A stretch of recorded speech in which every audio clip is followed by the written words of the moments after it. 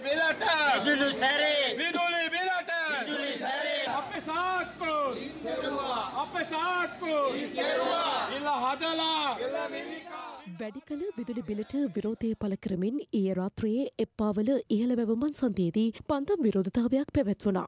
ජාතික ජනබලවේගයයි මෙම විරෝධතාවය සංවිධාන කර තිබුණේ. හදලා ජනතාවට සනසවන්න ලයිට් බිලේ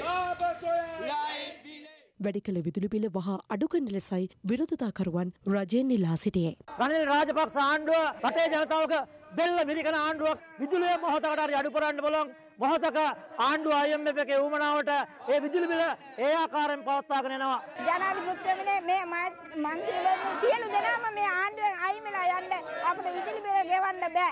මේ අතර ජනවාරි මස සිට වැඩ්බද්ද ඉහළ දැමුවත් එම වැඩ්බද්ද විදුලි බිල ඇතුළු අංශ කිහිපයකට බලපන්නේ නැති බව මුදල් රාජ්‍ය අමාත්‍ය රංජිත් සීබලාපිටිය පවසනවා. වැට් සහනය දීලා තිබුණා අයිතමයන් එකසිය තිස් අටකට එයින් කොටසක් ඉවත් කළ යුතුයි කියලා දැන් යෝජනා වෙලා තියෙනවා. ඒ ඉවත් කළ යුතුයි කියන යෝජනා තුල කිසිසේත්ම විදුලි බිලට බලපාන යෝජනාවක් විදුලිය බෙදා හැරීමට තිබුණු වැට් නිදහස අහිමි කළ යුතුයි කියලා යෝජනාවක් කිසිසේත්ම නැහැ. ඒ ගැන බය වෙන්න එපා.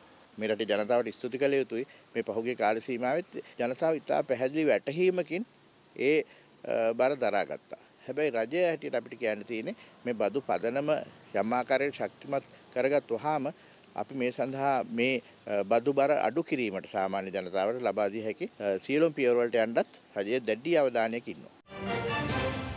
රටේ ලෝකෙ සිදුවන උණුසුම් පුවත් දැනගන්න සියත නිවස් YouTube channel එක අදම subscribe කරන්න.